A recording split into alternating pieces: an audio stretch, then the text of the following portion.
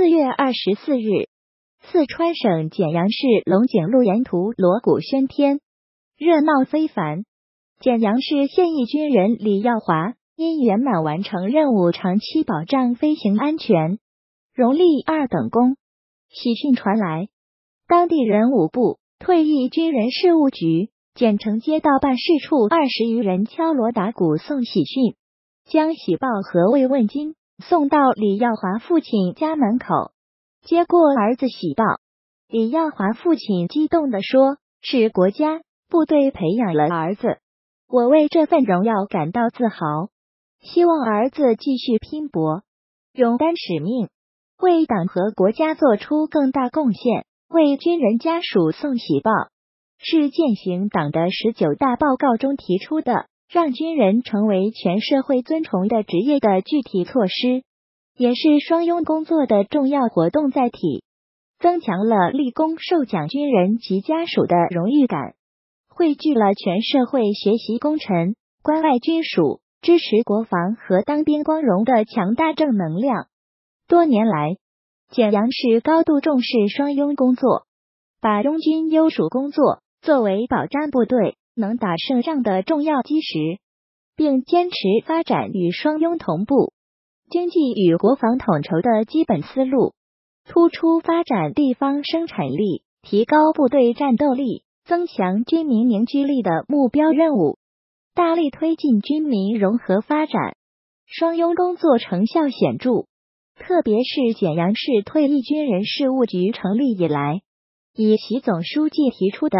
切实把广大退役军人合法权益维护好，把他们的工作和生活保障好为宗旨，按照围绕发展抓双拥、抓好双拥促发展的工作理念，科学谋划、统筹推进，通过开展教育培训、退役军人安置、就业创业、服务保障、抚恤优待、发放光荣牌等，简阳市四万余退役军人已经感受到了温暖。弘扬双拥光荣传统，推进退役军人服务体系建设。这不仅为退役军人提供了保障，也让现役军人服下了定心丸。随着服务体系的完善，简阳市退役军人事务局将以更有力的举措，维护地方经济社会稳定，促进军地互助共同发展，显著提升军人军属的幸福感和获得感。谢风轻碧，中国女子傅薇薇赐死英国丈夫麦克辛普森 （Michael Simpson） 留下一对儿女所引发的跨国抚养权争夺战，终于有了结果。麦克父亲伊恩·辛普森 （Ian Simpson） 和妻子琳达·辛普森 （Linda Simpson） 赢得对六岁的孙女爱丽丝的监护权，并把她带回英国，但暂时却没能把爱丽丝的哥哥杰克。一起接回英国。辛普森夫妇对 BBC 表示，他们将会尽其所能，争取未来取得对孙子杰克的监护权，不让这对兄妹分离。目前，八岁的杰克不得不留在中国的外婆和外公家中。二零一七年三月，三十四岁的英国男子麦克辛普森在上海被中国籍妻子傅薇薇杀害后。他们的一对子女触发了一场跨国抚养权争夺战。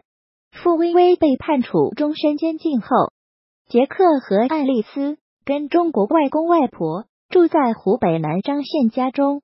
但麦克的父亲伊恩希望能把这对兄妹接回英国，希望他们在英国能接受更好的教育，过更好的生活。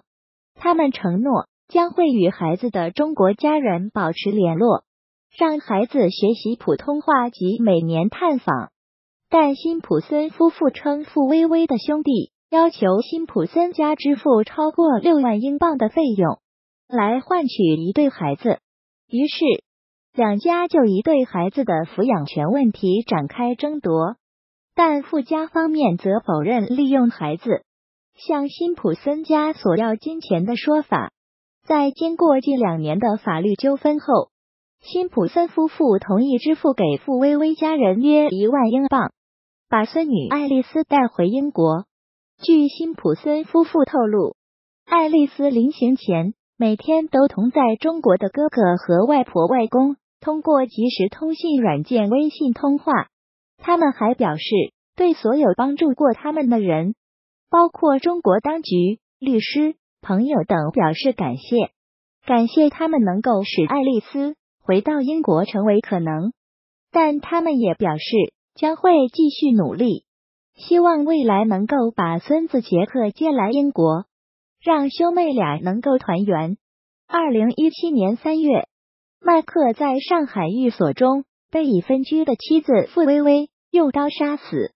当时，据中国媒体报道，傅薇薇发现丈夫出轨，用刀刺向第三者时，麦克为其挡刀，导致其颈部、肺部被刺，导致其死亡。麦克在英国时装品牌 Next。中国分部工作时，与傅薇薇相识、结婚。案发时，两人已经分居一年。杰克和爱丽丝两人都出生在中国，杰克有英国籍，但爱丽丝没有。环球时报驻埃及特派记者黄培昭，当地时间二十五日，以色列海滨城市特拉维夫市中心遭到来自加沙地带的火箭弹袭击。造成七人不同程度受伤。正在美国访问的以色列总理内塔尼亚胡为此被迫缩短行程，紧急回国采取应对措施。据以色列国土报网站二十五日报道，当天一大早，位于特拉维夫北部一户居民的房屋遭到火箭弹袭击后起火，造成七人受伤。以色列军方透露。这枚火箭弹是从远在一百二十公里以外加沙地带南端拉法口岸哈马斯控制的区域发射的。火箭弹本身也是哈马斯制造的。以军方还称，由于完全没有预料到特拉维夫市中心会遭到来自加沙地带的袭击，因此防范来自加沙地带空中袭击的铁穹防御系统并未启动。特拉维夫突然遭袭。令内塔尼亚胡不得不暂停其美国之行。他说：“鉴于安全问题，我决定缩短对美国的访问。几个小时后，我将会见特朗普总统，之后立即返回以色列，现场指挥我国的行动。根据原计划，内塔尼亚胡对美国的访问应持续至二十七日。”并准备于二十六日在一场由美国以色列公共事务委员会举办的会议上发表演讲。当地时间二十五日，特朗普与内塔尼亚胡会晤时签署一项公告，承认以色列拥有戈兰高地主权。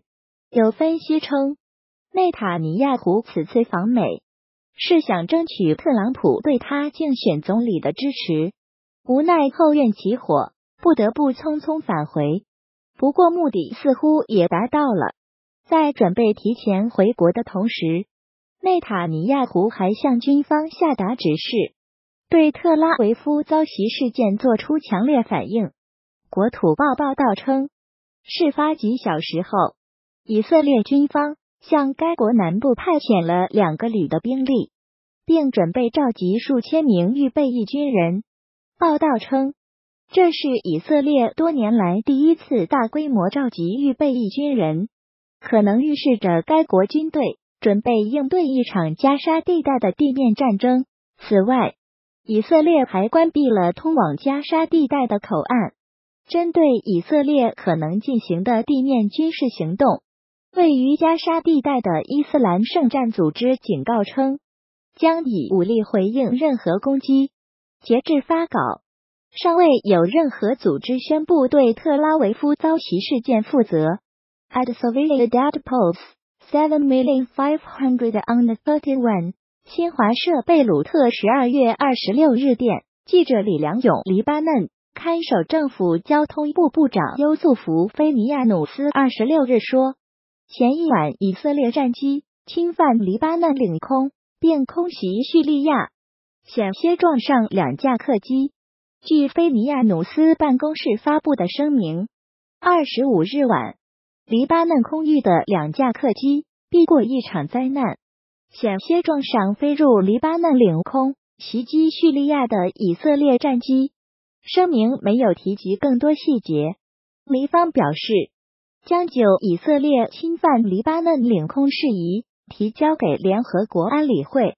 目前，以色列军方尚未有此事的相关表态。叙利亚国家电视台二十五日报道，以色列战机当晚从黎巴嫩领空向叙利亚持续发动导弹袭击，造成一处弹药库受损，三名士兵受伤。环球网军事综合报道，数千人逃离战火纷飞的利比亚。四月八日，利比亚民族团结政府和哈夫塔尔领导的国民军的鏖战仍在进行。据英国广播公司 BBC 八日报道，